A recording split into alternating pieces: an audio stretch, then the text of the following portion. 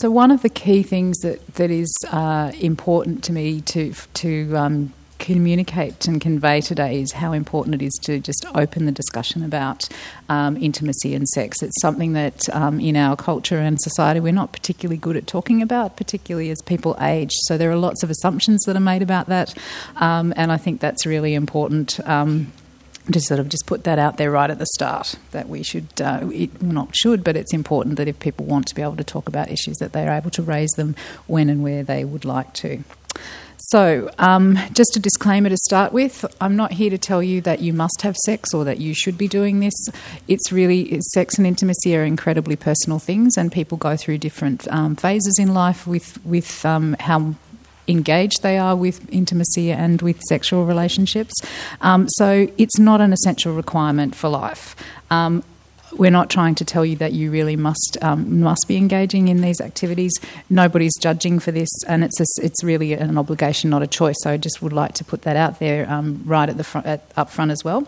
Um, but if sex is something, uh, and intimacy, sorry, intimacy and sex are things that are important to you, and as a consequence of cancer and and treatment, that you're experiencing changes, then there are things that can be done to help with that. So I guess that's the other key part of the the message. Um, the other thing that I find really interesting, having done some of these talks in various places, is how uncomfortable health professionals and um, and people are talking about this. And I'll come back to that a little bit later. So I think it's really important also f- um, to understand where people are coming from and their cultural context um, in which they're they're operating. So to tell you a little bit about mine, um, I am uh, the result of a, a mixed ethnicity um, relationship, and grew up in northwest New South Wales and moved to to um, to Sydney to the inner west um, to go to university some twenty odd years ago, um, where I still live um, today with my um, my family. So I've been in a committed relationship with my partner for more than twenty years. We have two teenage children who are incredibly embarrassed about the fact that I'm here talking about sex. Uh, but it's uh, it's never a dull moment. So essentially, that's really a little bit about me. Um, and I guess the, the other point of sort of talking about the inner west is that it's a very um, open and and uh, have, have a lot of exposure to people from alternative lifestyles as well. Um, so, on to the meat of what we're talking about. So, what we'd like to cover today is really what sexuality is, um, some of the physical changes that can affect sex organs and response in people with um, ca- after cancer and its treatment, um, and some of the emotional changes that can impact on that as well. Um, talk a little bit about the interventions that um, can improve sexual well-being, and introduce you to the trial that we're running at the moment, the Rekindle study. So, sex, um, sexuality is not just sex. Um, it's about who you are and um, how you see yourself. Uh, it's also about how you express yourself sexually and your sexual feelings for others. And often it's an expression of intimacy. Um, and humans are all sexual beings and expressing that to different levels. One of the things that's really critical, as I sort of um, pointed out right at the beginning, is really that where, where sex and sexuality occurs in the context of um, a society with uh, ideas about gender and body image and societal expectations, and all of those things can impact on um, people's sexuality. Um, just to give you the formal definitions that we follow here, it's sexual health and sexual dysfunction um, which are defined by the World Health Organization. So, sexual health is really a state of physical, emotional, mental, and social well being that relates to sexuality. It's not merely the absence of disease or dysfunction or infirmity. So, it's really emphasizing the health aspects of, um, of of the, the situation. And dysfunction it refers to the various ways in which an individual is unable to participate in sexual relationships as they might wish to. So, what we um, are learning is that um, that that um, in the past, um, people's experience of sex after cancer hasn't been discussed very much by lots of people. Um, we do know now from um, research that's been done that. Um, uh, across a range of cancers that people commonly report changes in the frequency with which they have sex, their satisfaction and their engagement in sexual activities um, can be significantly reduced after diagnosis and treatment. And that is not dependent on whether you've had a, what would be classified as a reproductive cancer, so prostate, breast, or gynecological cancers. Um, so it was really across all tumour groups that we see these changes. Some of the perceive, the causes that um, cancer survivors have described um, that they perceive as causing um, these changes really are the physical consequences of cancer and its treatment. Some of the psychological factors, definitely body image has um, concerns play a role, and then relationship factors, and all of those preceding things can can um, impact on relate on the into the relationship factors. So, somewhere between 40 and 100% of survivors will experience some level of sexual dysfunction depending on the cancer site. Um, the difficulties are co- sometimes complex with physical and psychological um, concerns interacting. Um, for example, something people feeling anxious and that might exacerbate their pain, which makes it less um, likely or less uh, less comfortable for them to engage in sexual activities. Um, it represents a major quality of life issue for some people. Um, and the changes um, to sexual function can persist long after the initial diagnosis and treatment, and we're starting to see more of that. But with an intervention, up to 70%, so a large majority of people can have some level of improved function. And I guess the really critical thing here is it's not necessarily going back to the life that you had before, but again, as, as often it uh, occurs after a diagnosis of cancer, that it's really a period of readjustment and things change, but it's different rather than worse or better. Um, the other thing that we've learned is that partners can also be affected by this.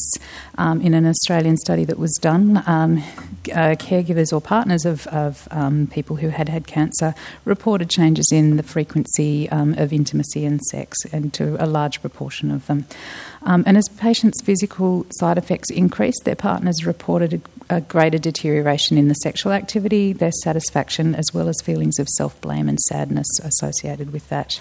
And the changes were concerned with some of the physical impairments, um, also related to the partner's level of fatigue um, that might be associating with their caregiving activities, um, and also changes in the perceptions of sex with their partner. Um, and just to warn you that um, I, there will, I, I, am going to sh- show a, a uh, an image from the SCAR project uh, um, that's been um, sort of done to raise awareness about uh, body image after um, after different surgical interventions. So um, if you're a little bit squeamish, you might not want to to, um, to take that on. So just a warning. Um, but certainly, surgical removal of body parts has an impact on people's body image and their self perceptions. it's very common for women and men to feel less masculine or or feminine, depending on where the sort of cancer that they've had. If it involves removal of, um, of secondary or primary sex organs.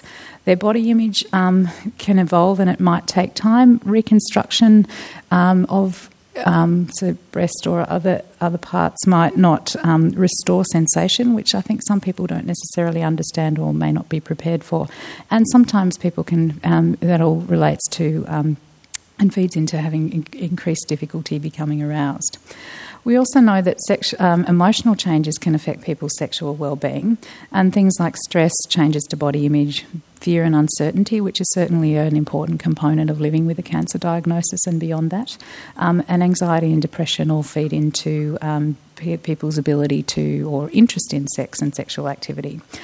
Um, some of the implications, the other implications really are that hormonal changes um, can affect people's sexual response, which can decrease their libido, they can become more distracted during sex because they're thinking about things, and really leading to an avoidance of affection and sexual activity. So sometimes for people it becomes a bit of a vicious cycle where you you don't want you stop any kind of intimacy because you don't want to lead to um, you know a sexual encounter that might be, be uncomfortable or that you you don't really want. Um, the other thing that's really important to know this is really not just a problem after cancer, it's related to lots of chronic illnesses. And I think one of the things that's great about cancer is that we are starting to talk about this. Um, it's not necessarily so in other health conditions. So, um, and, and certainly what people are telling us as part of the rekindle study is sometimes it's you know it's not their cancer experience but it's their partner's health um, health problems from other diseases that has really impacted on their sexual activity and their intimacy um, so it's certainly a problem that needs addressing more broadly in the community. Um, so one of the things that I wanted to sort of um, highlight is really the different. Um, the, the human sexual response cycle and where a whole lot of things um, that relate to cancer and its treatment might impact um, on that that response cycle. So certainly at the desire point, um, or you know, sort of wanting, thinking about wanting to have sex. Um, altered gender perceptions um, in terms of um, body image changes can um, can impact on um, people's uh, response to, to thoughts of sex. Um, anxiety and depression, as we've talked about already, Fatigue certainly feeds into that. So if you're feeling tired, you're not really interested in engaging in any intimate um, relationships. Hormonal imbalances, um, changes in hair loss, and things like that in the immediate um, treatment period, nausea, um, sore mouth, and, and, diarrhea, and things like that can all impact on on um, changes to, to your response. And what sometimes happens is that while those things, some of those problems might be acute during treatment, it sets up a pattern of behaviour that's then difficult for people to change because you um, you start to sort of feel that, that, that this is the, the, the the gap between you and your partner might start to become wider, and um, you don't then respond. Um, you, you, don't get back to normal necessarily afterwards without some additional help. And certainly in the arousal um, phase, anxiety, depression, hormonal imbalances, and peripheral neuropathy, so nerve changes, um, and vaginal or penile, penile, changes can also impact on, um, on how easy it is for people to become aroused. Um, anxiety and altered orgasm sensations or delayed orgasms can, um, or an inability to orgasm can uh, also um, be a result of uh, cancer and its treatment.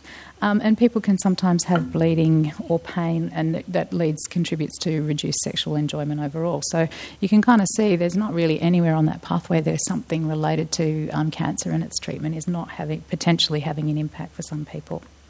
So how do we intervene with this? Um, one of the things that's really important um, is facilitating communication with um, your intimate partner or sexual partner, treating underlying causes um, of, of, physical problem, physical or psychological or social problems where they exist, and minimising the effects of anatomical changes by using different um, aids that might help um, people achieve the the intimacy that they might want, as well as symptom uh, things that help with symptom relief and giving information and advice on alternative um, methods of intimacy. Uh, but and wherever where where it's required, referring people to specialised services. Just a word about health professionals. Um, so, what we find is, and as I mentioned earlier, that many people are not comfortable with talking about intimacy and sex, and that goes for people who work in the caring professions as well. They may have their own difficult sexual and intimate relationships.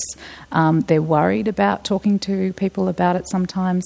They don't have the answers, and that makes them feel particularly uncomfortable. And I would say that's very true of, um, of many of doctors.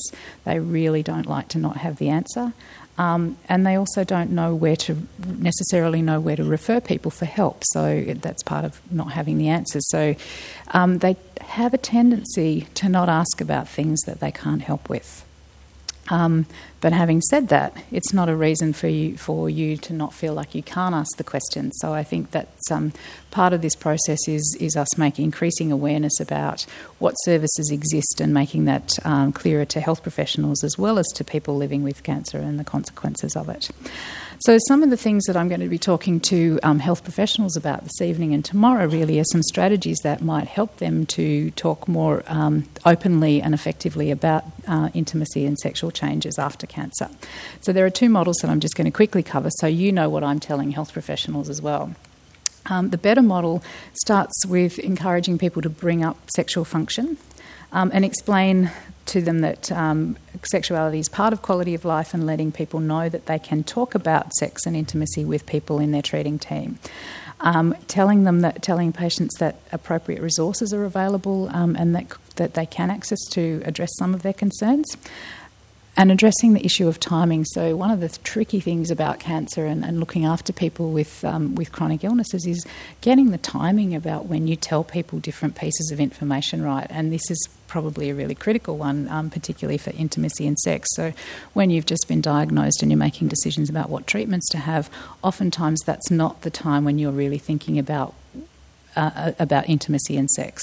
And so, really, we want maybe letting you know that there are options to talk about this in the future at that time would be helpful. But then again, com- coming back to it um, over time as you advance through the treatment trajectory is probably a really useful way of doing things. Um, providing some information and education about what may happen as um, side effects um, that will impact potentially um, intimacy and sex as part of the treatment that they're on, and make a note that that's been discussed in in in um, patients' charts so that people know that um, that it's a topic that has been touched on but might need to be revisited in the future. So they're the sorts of things that we'll be telling health professionals we would like them to be doing to be helpful um, to patients. The other thing is um, is is uh, the PLISSIT model, which is really um, was developed quite some time ago, and it's really about giving people permission to talk about intimacy and sex, providing them some limited information giving some specific suggestions about what might be helpful, and giving access to intensive therapy where and when it's appropriate and needed. Um, it's a really commonly uh, commonly used model of uh, communication about sexual issues, and, and, it's really started to be applied to um, to sexuality in, in cancer, particularly more recently. Um, and most people um, can be managed in terms of the um, the sort of the f- permission to talk about it and limited information will be helpful to most people at some point. Um, a smaller proportion of the population will need some additional specific suggestions, but most people will, will fit into that category. About 30% of people with cancer might need some more intensive um, advice and help um, in order to cope with their changes. So, um, on to a little bit more about what helps um, now that I've told you the things that we know about the problems. Um, there are lots. There are different treatment options that I have some evidence to support them, and we certainly know that vaginal moisturisers, which are non-hormonal and over-the-counter products, can be used. That, that when used regularly, can improve. Um, vaginal health, um, particularly in people who've had hormonal changes, um, and um, and that, that can be helpful. Personal lubricants used during sex can also be really useful um, to to um, to assist. Um, also, treat the use of vaginal dilators, particularly for people who've had um, pelvic radiotherapy or um, um or who also have had other hormonal um, treatments that might cause vaginal changes. and there's certainly things that have, uh, radiotherapy nurses are able to help with and in, in advising on how to use them. Um, and then the treatment options for male erectile dysfunction can include um, so the tablets like Viagra or Cialis, penile pumps or penile injections. Um, the other things that really are quite helpful are back to exercise. Um, so really, Kegel exercises um, can help to manage, um, teach you more pelvic control that helps people relax the relax the vagina before and, and during sex, and that can um, can actually reduce um, the likelihood that women are feeling tense and therefore um, uh, helps to break that pain and, and, that tension and pain cycle. Um, the, some of the pros about um, Kegel exercises really is that it does increase your pelvic floor um, strength. It helps to increase arousal some, for some people and um, gives people the ability to focus on um, the pleasure of sex, and their partners can feel the, the vaginal movements as well. The other thing is men men are not let off the um, the Kegel exercises. They work for men. They can have strengthen their pelvic floor muscles as well, and that can help to improve their erection strength and the length and the longevity of their their erections, as well as helping with bowel control. So we all need to be doing our Kegels, whether or not we've had cancer anyway. Um, some of the other options to avoid genital pain really are to plan sex at times when people feel less pain um, and taking med- you know, non drowsy pain medications in advance. Um, so that that could be um, any any effort to minimise pain would be helpful. Focusing on feelings of excitement and connection, playful touching, um, non-coital sexual activities, which I think is a really important part of um, of re-engaging with intimacy um, in this process, and using a, a, sensate focus. So you know, really focusing on what it feels like to be touched in different ways. Um, and trying different positions that might be helpful to minimise pain and things like that. So, some of the um, psychological interventions um, that we might use would really typically focus on intimacy and physical connections, and they may not necessarily um, relate to sexual intercourse. Um, and then advice about how to, to use different treatments um, as part of the, the process, but in particular, communication skills training um, in term, and support and talking to partners and, and healthcare providers about what your needs are. I think I can't probably can't stress enough how much the communication is is a critical component of that, and we'll come back to that a little bit later as well. Some of the barriers to uptake and retention of these sorts of interventions are really people not being aware of what's available. So, if you, you don't know, you're not necessarily going to be um, told about these things either. Um, there's quite there, and there's a lack of referral to support services where they are available by health professionals, um, and that's often caused by embarrassment both on the part of patients and providers. So, as we were talking about earlier, really people don't raise things that they um, don't feel comfortable talking about.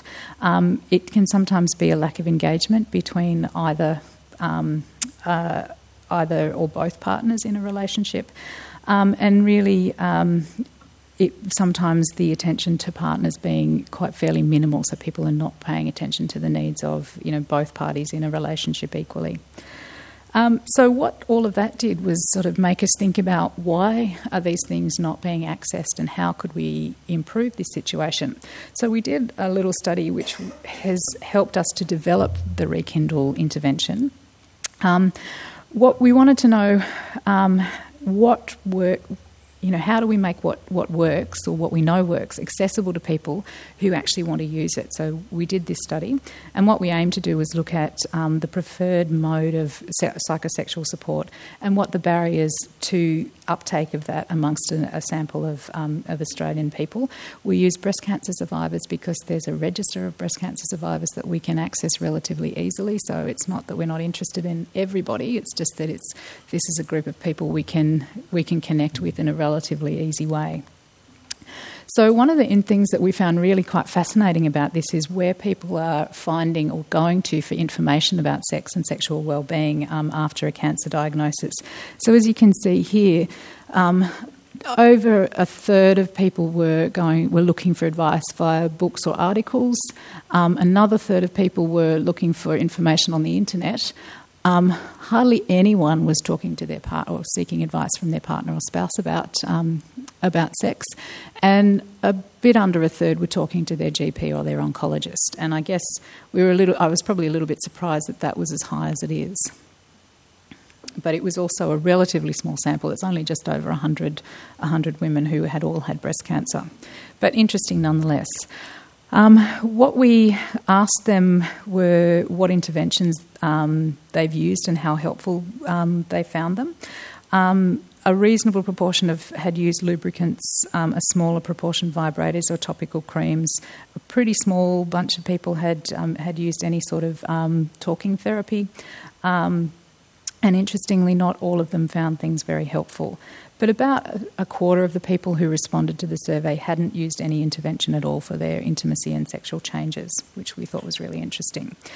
So we asked them as well um, if they were to receive support in the future to address some of their sexual concerns, what information would they, what topics would they be interested in? And you can see them sort of ranked here from um, most to least.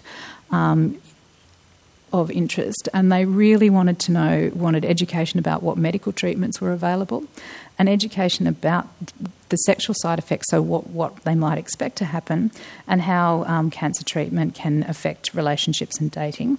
And then also very high on the list were strategies to improve intimacy in terms of emotional, emotionally and physically with partners, and ha- and communication. So it kept coming back to to that um, that question. So the preferred, we asked them also about what format they would prefer this information to be available in, and they certainly came out um, with online education programs as being one of the top priorities, or in the form of a book or a DVD. So that was one of the reasons that we um, took Rekindle online because that's what people were telling us they wanted. The least interesting to pe- least of interest were um, telephone support, face-to-face support groups, or online support. So really, what that was saying to us oh, hang on, I'll come back to that. Um, what that was saying to us is that people don't want to be having these discussions in public. They want to be um, they, they, want it to be a, a private experience. Um, which we also took on board. In terms of the features of an online psychosexual resource, um, what they really wanted was real cancer survivors, people who'd had an experience of cancer, um, talking about and sharing their experiences of sexual changes after treatment. They also wanted um, those written stories and things like that, they wanted it in an online format videos of health professionals explaining um, the educational material provided, and they also told us that they really wanted access to some animated videos on how to use medical devices to improve sexual functioning. So, how do how do you actually use a vacuum pump or dilators and things like that? So, we really did take a lot of um, of that information on board in the development of Rekindle. But what was really key was that communication was was key. It, it, it highlighted the importance of that communication and really identified a, a real need in the community for self guided communication skills and training. Um, and so we also asked them to tell us about what, what made it difficult to talk about sex. And um, some of the things that came out through that survey really were changes in their relationship perceptions, um, identity conflicts, um, their masculine, their perceptions of themselves as masculine or, or feminine people, um, and sexual self self efficacy and, and, confidence. Really were were things that were concerning to people. So, in summary, from that, what we learnt was that future any future intervention that we developed needed to be um, provided in a private way people's preferences really were um, to offer support that was web based, um, and probably that both survivors and their partners would likely benefit from that. So that led us to develop the Rekindle study. Um, which is running at the moment and is assessing the feasibility and acceptability of this resource to address sexual concerns among cancer survivors and their partners. Um, there are a large number of stakeholders um, who are involved in this, so we have a big team both in Australia and internationally um, taking part. We partner with the Cancer Council, um, specifically the Cancer Council in New South Wales, um, to deliver this uh, uh, to deliver the study, and a number of different organisations in terms of funding as well. So, Rekindle's translating what we know, um, the existing evidence based um, interventions, into a self led web based intervention. And we came up with the content based on the information that people had told us, but um, by systematically looking at the literature um, on psychosexual interventions so that we, we looked at what does work and what there's evidence to support, educational materials that were available from the Cancer Council and other community based organisations where a lot of effort has been put into developing resources, and then um, a series of ongoing studies where we were talking to cancer survivors about their experience and, and using that in a very real, informative way we used a number of different theoretical frameworks that I won't really go through, but um, the web design um, in terms of the e health intervention, the content of the program, and the tailoring approach that we're using were all very much based in the on the, the available evidence to support um, to support that. So we think it's it's pretty comprehensively developed and designed um, principles that underpin it. So the aims of the study um, really were um, to develop it as a personalised web based psychoeducational resource to guide and support um, users long term um, learning and their, their, and to address their sexual concerns um, for them and their partner, as well as to demonstrate its acceptability. Um, we also have a couple of different modalities of Rekindle that I'll talk about in a little bit more detail in a moment. And we were trying to determine which of those is optimal to use if we were to take this forward, particularly um, in future uh, in the community. If it looks like it works, then um, the Cancer Council will make that resource available as part of its programs. Um, and to provide some idea about how big a study we would need to do in order to, um, to demonstrate that it works. So, the format of Rekindle is that it does involve case studies in video format. Um, it has a, lo- a, large component of skills training, lots of reflective exercises, and includes some self assessments along the way. So, it really is designed to be tailored and, and useful um, to, to people to use in, in small chunks. Um, and it's also tailored to the type of user, so whether you're a patient or um, a partner of a patient, um, the gender of a user, uh, and their sexual orientation, um, as well as whether or not they're actually in a relationship or not. So the study design itself, which is probably um, the the least interesting thing to many people, but people can register onto this uh, on the, the website and um, they talk to us to sign up and then complete an online survey. At the time that you complete the online survey, you random, it's randomly allocated to one of three different groups.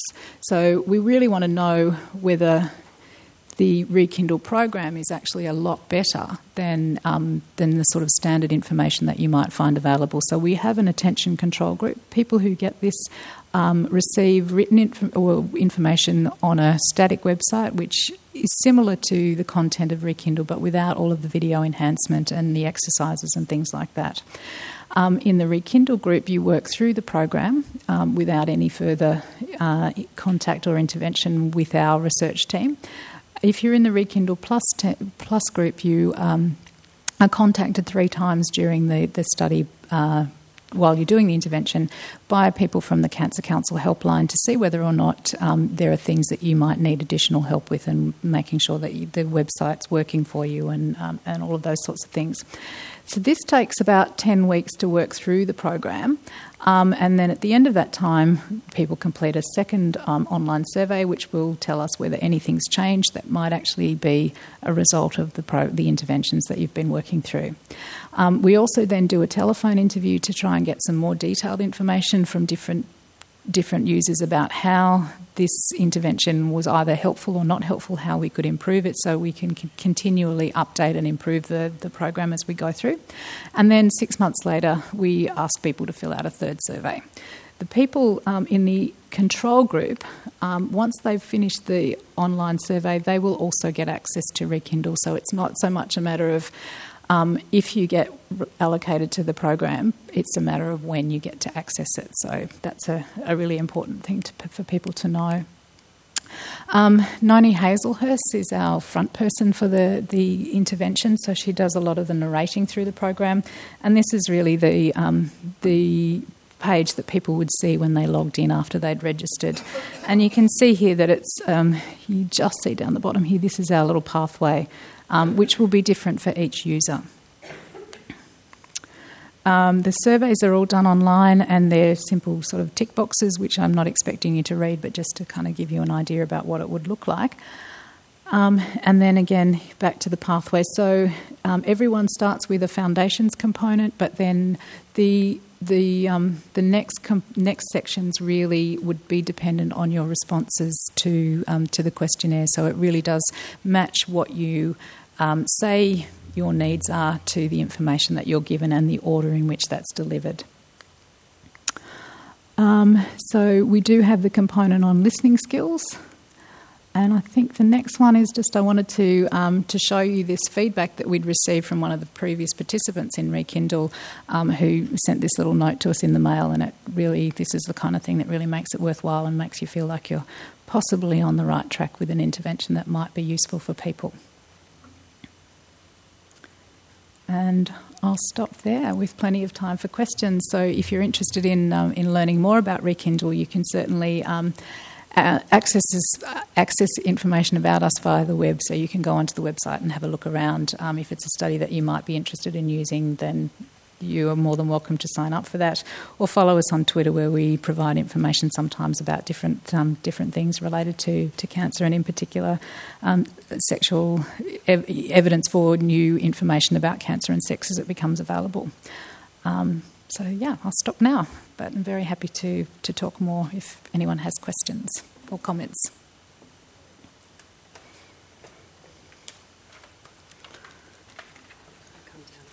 So just please join me in thanking um, Dr. Haryana Dhillon for that great presentation. So thank you. We do have plenty of time for questions, and we have got a roving mic. So if anyone does have a question uh, about the study or some of the uh, other information that we've heard today, please do feel free to. I know it's a this is one of the issues that we have around talking about intimacy and sexuality. People like to do it anonymously, so we could all close our eyes perhaps when that might when, work. when someone's got a question to ask. But it is difficult. But if you know, we're here. Haryana's here for any questions, especially around this rekindle. Yeah, we've got a gentleman here. We'll just quickly get a mic to you because we are recording. It's not really a question. That's okay. Comments? We'll have comments Yep, as yep. well. There was a good program yesterday on SBS. The age of people having sex, some up to some up to the age of ninety odd, and it was very well presented. I think it was on that late line show, that female that does the uh, interviewing with different people. I thought that was most interesting. Anyone else see that? In, inside, that's right. Yeah. No, I didn't see it myself, but I think that's that's absolutely right. It's one of the things we have make all of these assumptions around um, when people, you know, when sex is important to people and relationships are important, and, and that's something that would be really, you know, busting some of those myths is a really important comp- part of communicating about this. I think absolutely right. Yeah. Well, good. Thanks. Mm-hmm. I think the other thing I forgot to mention, um, the Cancer Council New South Wales um, uh, survivorship group um, recently ran a webinar on um, men and cancer, and that was it was really fascinating. We had um, three panelists, um, who, one of whom was a testicular cancer survivor, um, who's written quite a lot of books and, and, done a lot of media around that um, uh, since his diagnosis and treatment. Uh, a, an epidemiologist who done had recently done some work around prostate cancer and um, and sexual health outcomes, and and then a, a GP who does a, uh, also works um, with a focus on sex therapy in Sydney, and they had one of the most um, engaging and um, interesting discussions, particularly about men and sexuality that that I've ever listened to. So that will actually be available online um, in the next few weeks. Um, so I'd really commend that to you to, as something to to go ahead and have a listen to. It was a really interesting discussion about um, how we make assumptions about men as they age and, and forget that, you know, men who are aging now and, and you know get and being diagnosed with cancer are, are, the baby boomers and they've had a very different life than we might have expected for someone that lived in the, the 20s or 30s um, so I think it's it's it was a really nice description of why we need to to start challenging our assumptions around around this sort of thing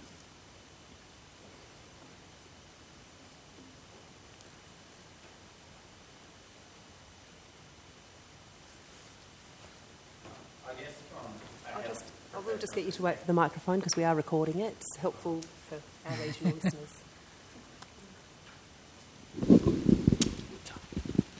So, I guess from a um, health professional perspective, um, I think the point that you raised about that was really good, especially a lot of the, uh, for us who are budding health professionals, um, myself and Ari here, um, who are students at the moment, it can be hard to deal with that human perspective and that human component of it. I guess in the future, do you foresee like a landscape where the best practice is for each health professional, whether that's pharmacist or physio or whatever your specific area is, to be able to address issues with um, sexuality within their field, or is there more a role of a very specific health provider to deal with that and be comprehensive all at once? Mm-hmm. Oh, thanks for that question. It's a really good one, and I think really. Um, I think it's probably the short answer is it's probably both. Um, so I think there is a need for specialist um, intervention and, and, and health professionals who are specifically working as, as sex therapists um, who can help with very complex sexual challenges. But what we're learning from people really is that by and large, most people need information. They need the confidence and the skills to be able to communicate with one another about their intimacy and their sexual needs. And that's really something that almost every health professional could give support on and advice about. And I think that's probably it probably isn't just for sex either. I think it's across the board in terms of changes and adjusting to cancer or other chronic illnesses. Even that these are the sorts of things that you might want to be talking to, um, you know, friends, family, and, and other people about. And here are some strategies that might be helpful for you to do that. Here's some information about these particular side effects. Some of them, some of which might be um, intimacy and sex related, but they can relate to a whole range of other things. Um, and at the moment, I don't think we're doing necessarily a particularly good job across the board of, of providing that information to people. Um, there needs to be a lot more focus on communication in training programs for health professionals as they come through, and I think also supporting those um, training, you know, those specialist um, skills um, in people as they pr- progress through the, profession as well. So it's not the kind of thing that you just nec- you learn once and, and never have reinforced. It's something that you can continuously improve. And I think some of the move to in health professional education for these things to be done online has actually diminished the quality of the outcomes. Um, in that kind of training. So, experiential learning where you actually get to try out how you would say things to people is actually really, really important.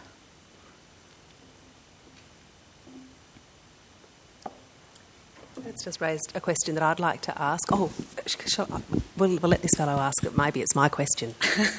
Thanks. Lucky last. Do, do you know, as far as prostate cancer goes, and people who've had intervention with that, how many people, what percentage of the guys get back to, to normal? Oh, it's a really that's a really tricky question because it, it, depends on so many different things. Um, so the biggest predictor of how effective, uh, also how um, a man's sexual function after prostate cancer, really depends on his sexual function before he, he has cancer um, and has any treatment. Um, so, and, and some of those things really are related to age, um, weight in particular, and fitness.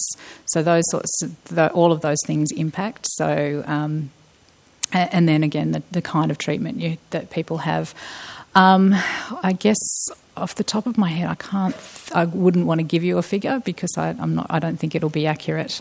Um, but the key thing really is that the sooner um, men who've had prostate cancer start to intervene, um, or you know, start to, to try and actively um, re-engage in sexual activity, that can actually be a, a good predictor of, of um, as well. You know, sort of waiting to the 12-month mark, which is what we find lots of people do. Um, they have their treatment, then they're sort of recovering, and they don't really start to think about things, and then by sort of 12 to 18 months down the track, it's really had a big impact. Starting to, they're starting to feel the impact of, of not having, you know, that intimate relationship as um, as easily as they did before, and that's when, you know, sometimes it might be it's harder to then achieve a, the outcome that people would want. But interestingly, we had. Um, uh, some media coverage in the um, Australian Financial Review just last week um, with one of our Rekindle participants who was a prostate cancer survivor. Um, and he was talking about um, his sorts of feelings of, you know, he was becoming quite depressed and demoralised about, you know, the, the, sort of loss of potency and loss of masculinity as part of his prostate cancer. And he found Rekindle really quite a transformative um, experience because it changed his perception of his sexuality as well. So I think that's the other thing that's really important is understanding about um, male sexual response. So at the moment we have this really big focus and uh, really on erections and and coitus and and then you know as being an ejaculation as being sort of how how men have sex and and that, that being the only way that they can enjoy sex and that's actually not true. So it's possible to to achieve orgasms without um, you know without ejaculation and that that kind of thing. So I think that's you know educating people about the options in in those sorts of terms actually make that uh, a much um, richer potential experience for people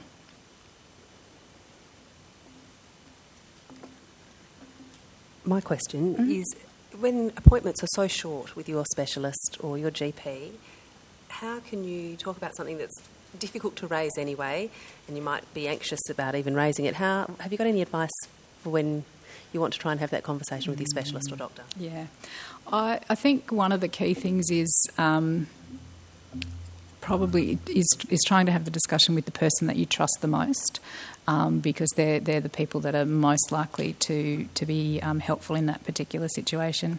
The other thing that I think is really important when you when you're in that situation and you potentially do feel anxious about raising a topic is is really literally the simple write the questions down and take them in and say, uh, you know, up front. I, there's something that I want to talk to you about, and I find it really, you know, I, I might find it challenging to raise this topic, but this is what it is. Um, and I think the other thing to help health professionals is also to say, I don't necessarily expect that you will be able to tell me exactly what to do now that you have all the answers, but what I'd like to do is explore with you what the options for support are. And that might also make them feel a little bit less anxious about the, the, the you know having to talk about a topic that they're not necessarily comfortable with as well.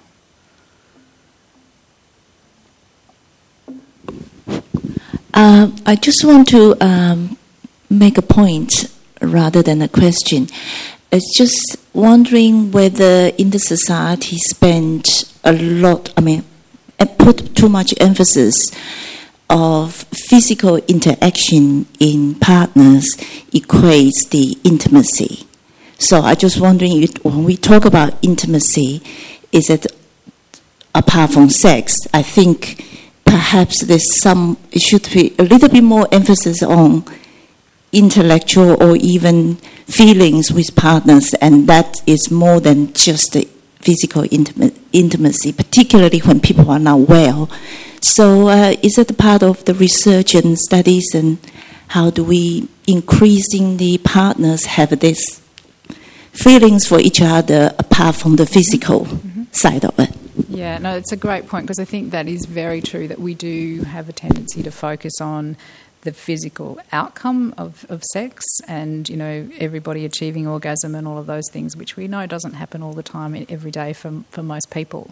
Um, but what um, both caregivers and patients tell us that they, they miss is the, the feeling of intimacy, the feeling of being connected with someone else. Um, and one of the drivers for that can, for the, the, the distance between um, intimate partners really is the, the fear around not, not feeling confident about touching because of where it might go. Um, and you know the, the obligations to, to sort of engage in in sex, but I think that's a really important part of you know connecting with connecting people and allowing them to um, to be supported in that way. And I think that that's why communication is such a key part of what we're we're doing because it really is hopefully designed to increase the connection and, and the, the the strength of the relationship between people.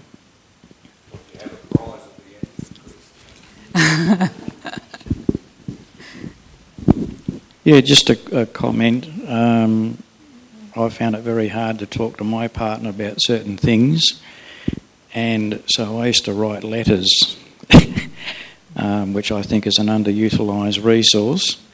Um, partly because I'm a shy person, which is very strange to say about your partner, but also when you're on anti, I've had prostate cancer, been on anti-hormone treatment, you can't think straight. Whereas if you write something down or you type it out, you can edit it and read it over and get it to say what you really want to say. Whereas if you're actually talking, I mean, you know, you can either write it out and then read it, or just write the letter, have the person read it, and then give you some feedback. So, Yeah, I think that's an absolutely fantastic suggestion. You're right. We don't use that kind of um, you know writing interaction um, probably enough, and it's really I think really a very powerful way of clarifying your message and, and, and what what you want to say to somebody, um, and it also gives you a reference point to, to sort of always you know also come back to. Um, and you know, to be honest, with my two teenage kids, I use it a lot because it means that we don't argue. If I just write down what I, you know, the series of things that need to happen today, it's fantastic. Can really, you know, make that a much more um, useful interaction with, with less emotion embedded in it, I guess. Mm, thank you. Go ahead. Hello. I'm a bit of an egg beater because I thought I was just coming to a rekindle the spark, not the whole box and dice. and I can tell you when the, the spark went for me, it was three weeks into radiotherapy because it just did. And because of the treatment and the drugs, you're out with the pixies and you're, you're just not yourself. And that's what I was hoping to get from you is how you cope with feeling like you're the, your death warmed up and uh, you're not a good friend, you're not a good wife, you're not a good this, you're not a good that. And just coping. Yeah, I think it, it's a really hard, um, challenging time, and I think all of those things can come together um, to make you feel like you're not coping. And I guess the thing that, that I often it, I hear it in lots of different things. So the, a lot of the work I do is also in chemo, you know chemo brain and things like that. Um, and the thing I find most powerful for lots of people is giving themselves permission and a time to feel like they don't have to be on the top of their game. Um, and that so sometimes that's enough to take the pressure off um, to allow you to think about what it is that you need or want or what it is that might actually be helpful in the next step to sort of help with um, get through get through that immediate problem and then start to, to recover to some level. Thank you.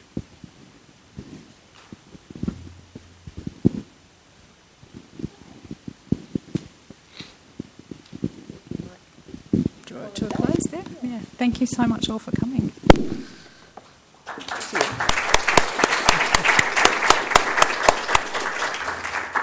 Just, just before everybody leaves, just you know, thank you very much. That really was informative, and I do hope many of you have the chance to go online. If you don't have internet at home, obviously, public libraries have fantastic internet connections. So uh, maybe maybe looking into the Rekindle website is something that you really are interested in, and I hope that you take that opportunity now you've heard a, a bit more about it. That uh, you can explore that personally and anonymously online. So thank you very much for letting us know that that has uh, that's out there.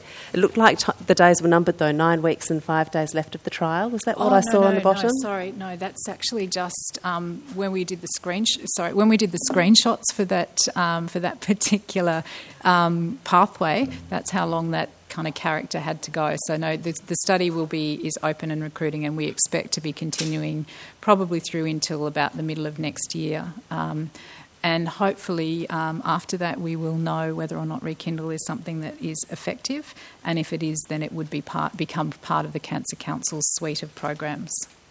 Great news. That's really fantastic. So, finally, please just complete the evaluation form if you haven't had a chance.